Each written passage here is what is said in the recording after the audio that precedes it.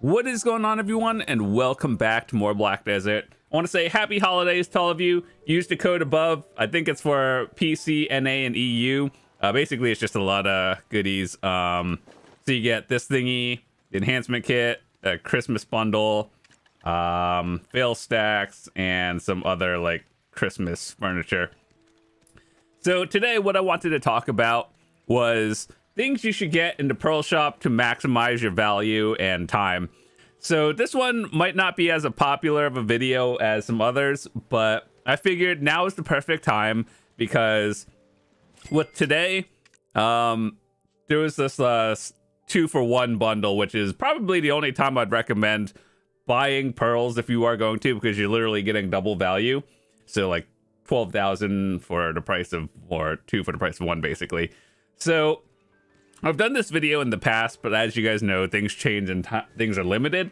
So I wanted to go over what I think is valuable and what you should get at a high priority and things that are just, you know, optional. So this is coming from a veteran player who has a lot of the stuff. And I think that if you are going to spend money on this game, you should spend it and be smart about it. So yeah, so here's the things that I think are worth your time. So first of all, uh, if you're going to spend money, it's within the next two weeks, get the two for one value bundle and you're good to go. Next of all, um, there's a silver thingy that you can get discount coupons. So I think that's good.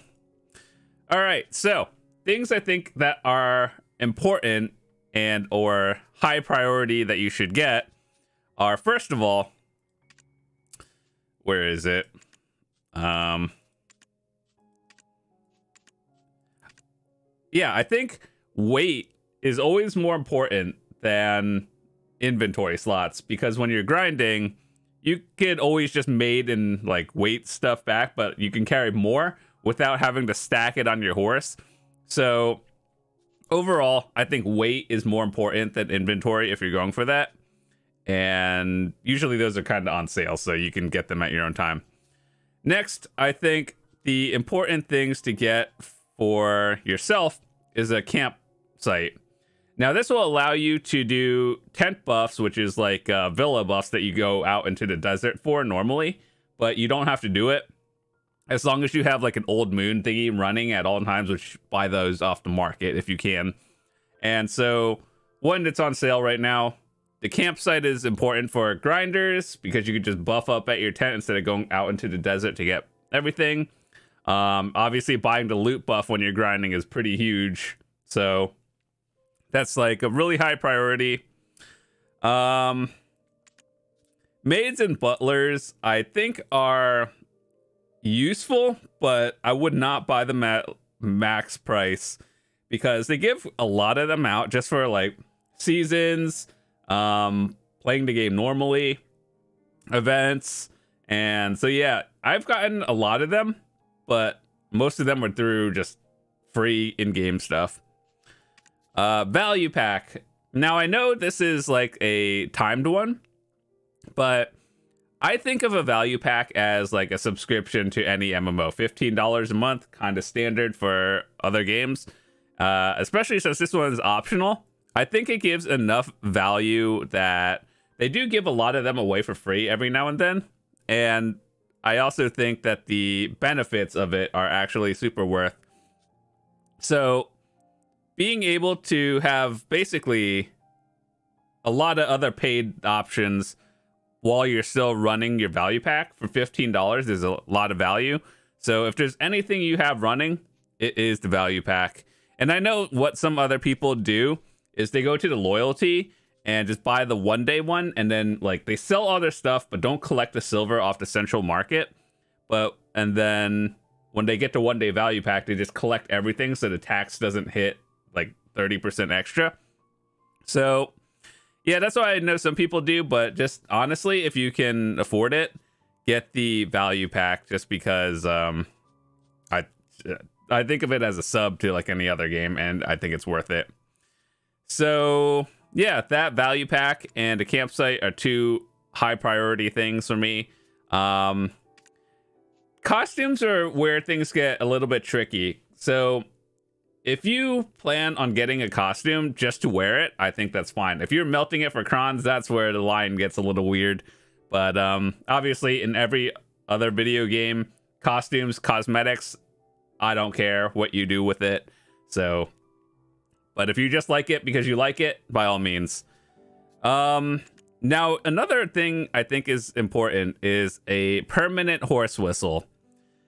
Now, the reason why you have this is because obviously in BDO, horse riding is the most important thing, like the only way to get from point A to B quickly. Uh, the Magnus changed things a little bit, but I mean, even getting to the Magnus well is kind of. I don't want to walk there. So, getting a horse whistle is probably the most important thing, especially while it's on sale.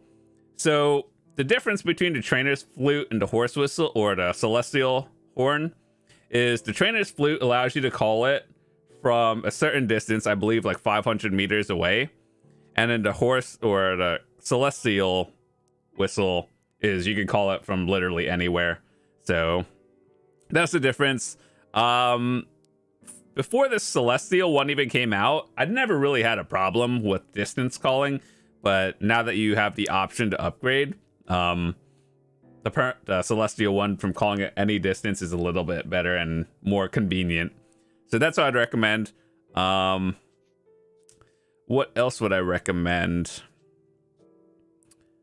I think they give a lot of horse gear and stuff away for giveaway or not giveaways, but like just through events. So you don't have to buy one. You'll probably get it eventually. And I also believe when it comes to pets, pets are extremely important. So to give you an idea, you want to have ultimately a tier 5 pet and a tier 4. The highest you can get is a tier 4 and then you do a quest without spending any money to get it to tier 5. Um now I could go on a long rant on pets regarding like which ones are the best to get and which ones you should get. But as a newer player, what I'd recommend to people in terms of pets is always have five pets at level one or like not level one, tier one over like one tier four or five pet. So quantity is higher than quality at some point because eventually the goal is to get them all to tier four, but you want to get as many as you can to help you pick up loot and all that stuff. So five of them versus one of them at higher level. Um, so what you get is basically personal opinion.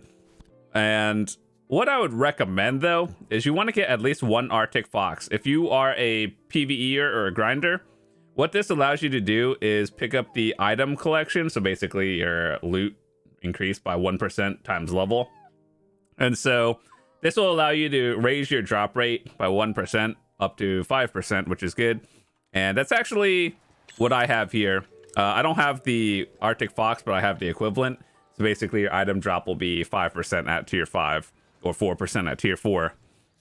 And so I think that is one of the ones you should get.